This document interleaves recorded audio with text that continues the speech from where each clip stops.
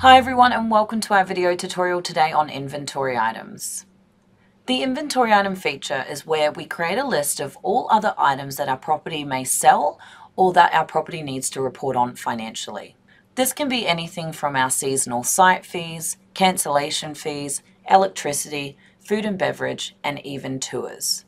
Essentially, it's going to be anything else that you're offering to guests or need to report on within the system. We recommend that you have a preset list for your staff to be able to search and select from. This will ensure your financial reports display correct information on them. Today I'm going to be walking through a variation of scenarios of different inventory items that we may set up within the system and how we can use them in different areas or features. The first one we're going to look at is creating an inventory item for something that we might just sell in our front office, such as a bottle of water. To do this, all we do is head to our inventory item page and select add inventory item. We then need to enter the name of the item. This is what the staff members will search for, and then a description which will appear on the client account when we raise the charge. Then we need to select which sub-client account it should be split into, and most importantly, what general ledger account it needs to be assigned to for financial or tax purposes. If you are ever unsure what to set this against, we recommend that you discuss this with your accountant before selecting. If this item is tax-free, we can switch this on to yes. Alternatively, on the right-hand side, we also have a section called Override Tax Rate. Now, if you happen to have any custom tax rates set up within your Newbook system that are to be used for specific inventory items, you'll be able to select into this box and select that specific rate, and Newbook will ensure it applies that specific tax calculation to these items when they are raised.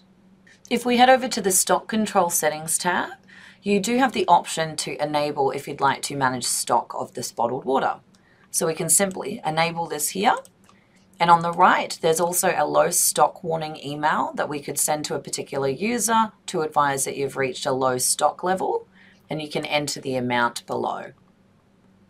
Now, once we save this, in the top, we'll then have a Manage Stock button, and this allows us to add how much available stock we currently have so that we can then start selling it and the stock levels will slowly reduce until we need to reorder. Now that we have this created, if someone came into the office and wanted to purchase a bottle of water, I would simply head into my cash account from my menu, select add charge in the top right, search for water from my inventory item list. You'll also see the amount of stock available. I can then select save and pay to advise that the person has paid for that water.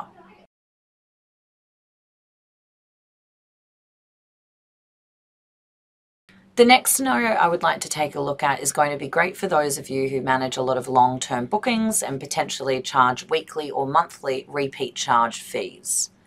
If you do this, we do recommend that you add those in as an inventory item so you have all of your available billing options pre-set up in the system and your staff know what the various fees are and which ones to use.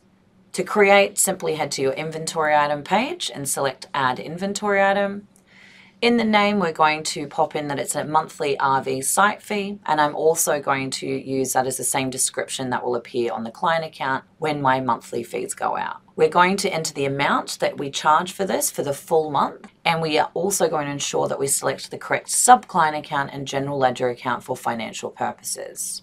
Now that these steps are done, we're going to click into the repeat charge tab. Now this allows us to set certain system defaults for the inventory item when we're using it as a repeat charge. As this is a monthly fee, I want to set it to an interval of one month and we also have some other repeat charge settings that can also be adjusted here. Lastly, you can also set an automated scheduled price increase or decrease for a future date and this will ensure that any bookings that are using this as a repeat charge will automatically update to the new price on that date without the need to manually adjust the bookings in the future. So simply click into this tab, add, and then select what kind of increase it is, if it's a percentage or fixed amount. And once we've saved this, if we were going to make a long-term booking and use our repeat charge option, when we select this inventory item for monthly fee, you'll be able to see that it pulls through, that it bills every month, and you can see the $500 value here. Now the next scenario I'd like to take a look at is great for those of you who might want to offer booking extras to your guests. These can also be sold online as an upsell if you wish to. Today we're going to create one called breakfast per person. So we're going to do, as we've done previously, we're going to add an inventory item and fill in the main first tab. We're going to call this breakfast per person. Now, as this is actually going to be something that we charge per person, in the price section here, I'm going to leave it as zero. And then I'm going to head over to the booking slash rate tab to set the pricing at the per person cost and to also check over some really helpful settings that we can also configure within here. Now, if it's something that we charge daily, we can also change the interval from once off to particular days or repeat interval. On the right, we then have an array of settings that impact the overall cost of the booking or how it affects the total rate. On the right, we have the ability to set whether this cost will increase the nightly rate of a booking. Alternatively, if we wanted to create a bundled package, so let's say we wanted the breakfast to actually be included in the nightly rate or cost, we can actually put it on include. The last option here is exclude. Now this is great if you happen to charge for any refundable deposits that do come at an extra fee, but they are allowed to potentially pay them on check-in and therefore we don't want them to contribute to the nightly cost or the rate of their actual stay. The travel agent commissionable and the discount settings are important to check also. If you happen to add any extras onto bookings that are from a travel agent, you need to set whether or not the agent is going to get a commission on this breakfast as well. So if it was just a standard booking and they didn't have a travel agent, but you added a booking discount, you've also got the option here to advise whether this breakfast item should also receive the discount or not. If your item is something that bills daily, but you don't want to generate a breakfast charge on arrival, you can also adjust the ignore arrival and departure dates here. In addition to this, at the bottom, you can also have the system generate a task advising a specific department to arrange breakfast for the guest. Lastly, if you would also like to offer this as a booking add-on for your Newbook online page, head to the booking add-on tab, enable to sell online and then also read through the pricing options and other restrictions that you can enable to reduce when it is available and how many they can purchase. Now, if I was to make a booking over the phone and the guest asked if they could add on breakfast, all we would do when we're making the booking is head to the inventory item button, search and select breakfast, and it will then pull through those default settings. In this scenario, it's going to calculate per person and add it on top of their nightly rate.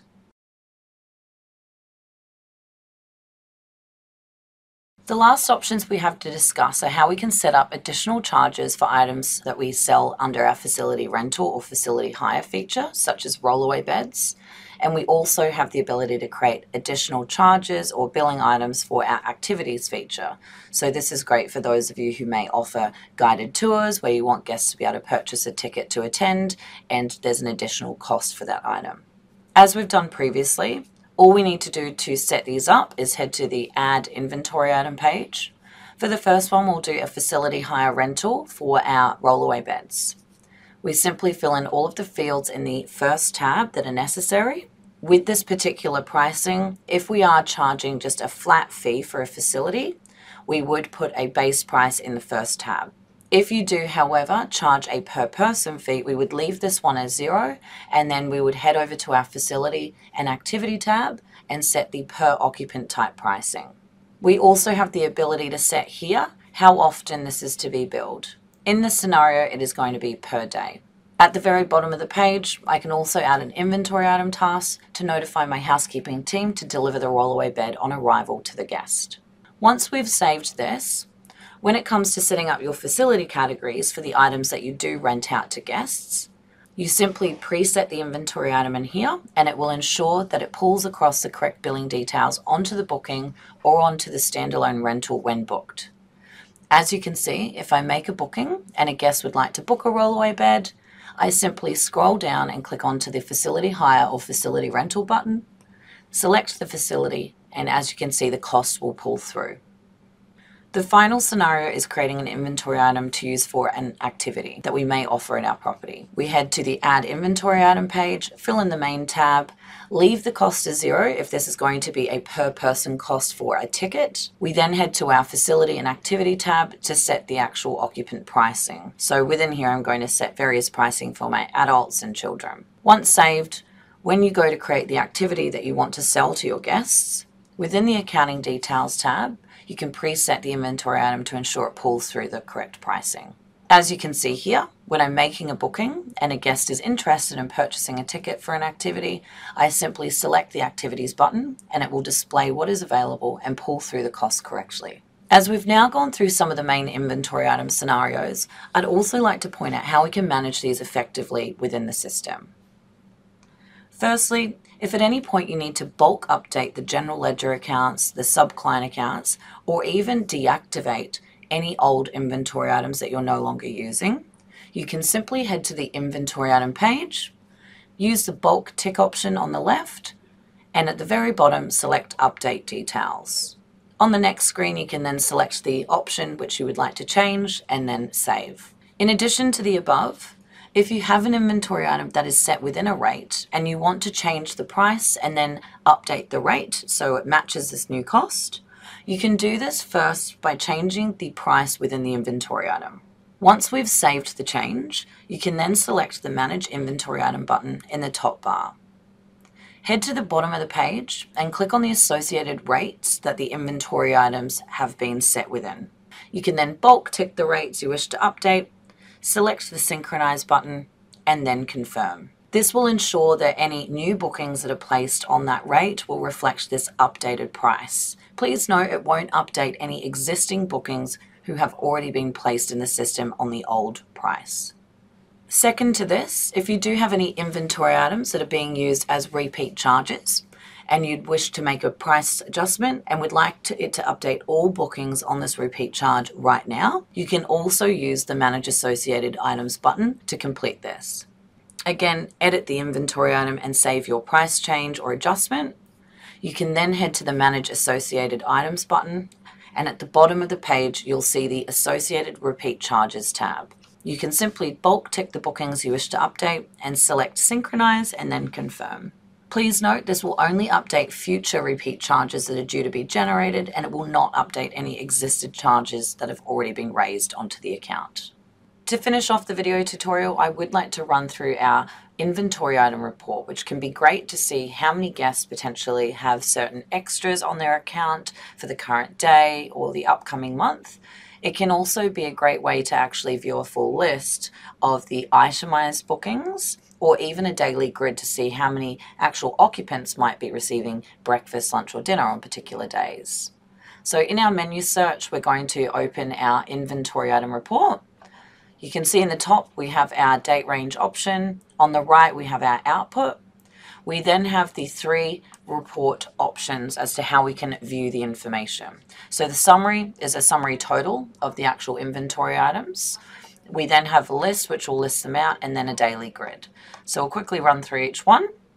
When I'm in the summary mode and run the report, you can see it shows the inventory item name on the left and how many of those items have actually been generated within that period of time.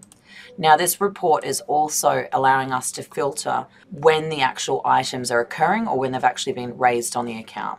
So items generated means that they are physically raised onto the client account. So the actual charge for the item will be on the account.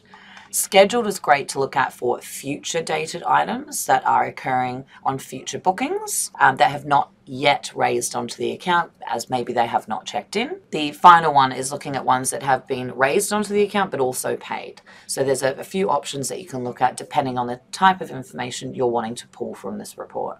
If we look at the same information in the list mode, you'll be able to see once I rerun that report that it groups it by the inventory item but lists the actual itemized charges, where they're associated, and how much each one has cost. The last one we have here is the daily grid, and if I run that report, you'll see it pops the inventory items in the list here and you'll notice it actually just tells you the total occupants on each day where we've got those inventory items uh, being generated against bookings. The report also has a large variation of filters that you can use to refine it further if you're just wanting to focus on specific inventory items, general ledger accounts, or specific staff that have actually raised these particular items. That does bring us to the end of our video tutorial today on inventory items. If you do have any further questions, be sure to click into the question mark icon in the top right corner, and that will display our internal knowledge base and some recommended articles associated to the page that you're viewing.